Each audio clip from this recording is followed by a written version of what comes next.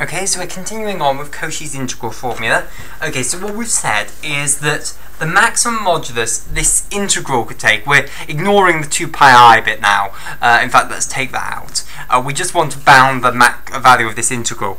Uh, and the maximum mo modulus it could take is the maximum modulus of that the integrand takes over the contour multiplied by the length of the contour. Well, the length of the contour is easy. That's going to be 2 pi r.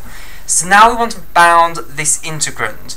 Well, what's the modulus of f of, uh, of the integrand? What's the modulus of f of w minus f of a over w minus a, which is equal to f of w minus f of a, the modulus of, of the numerator divided by the modulus of the denominator. Now the modulus of the denominator is actually extremely easy because we our contour is a beautiful little circle. So the modulus of the bottom bit is always the same.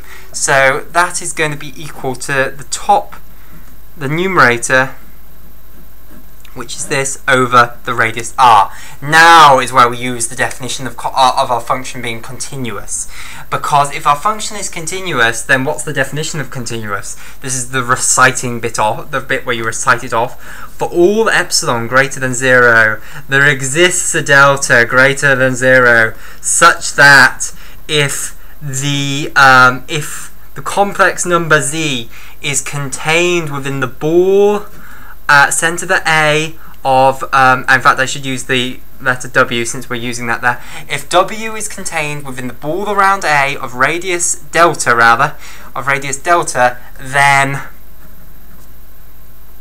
uh, then uh, the difference between f of w and f of a is less than epsilon. So basically what that tells us is that you give me any epsilon you want greater than zero I can find you a radius to make a little open disk around A uh, such that uh, this is true, such that if you take any W that's within that disk, then the value of this of this is less than epsilon. Okay, so that tells us that if you want, you, I, I can basically that I can make this less than any epsilon you want is what it tells us. Uh, it tells us that I can make that this can be made less than epsilon over r.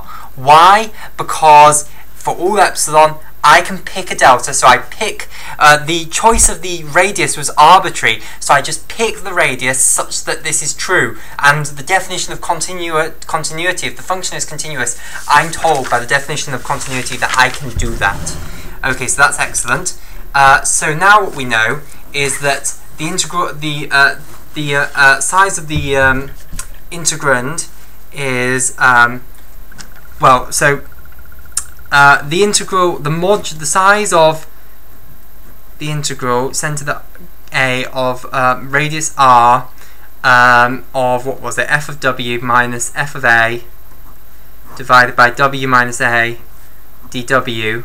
The integral of that uh, is less than epsilon over r times 2 pi r. So it's less than 2 pi epsilon.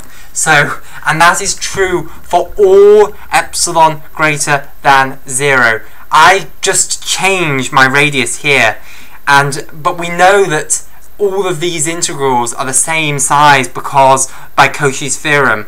So that means that this integral, that the integral over gamma of um, that the integral that this must equal zero basically because we're told that the modulus can be made as small as you like and it's um, so the only and it has to be a positive real number. So the only number that satisfies that condition is zero. And as soon as you know that the modulus of a complex number is zero there's only one complex number that has a modulus of zero and that's zero. So that tells us that the integral over any closed curve gamma of f of w w minus a 1 over 2 pi i dw, uh, dw rather, is equal to f of a. So that's the proof of Cauchy's, Cauchy's theorem. I'm sorry, I'm very tired. Um,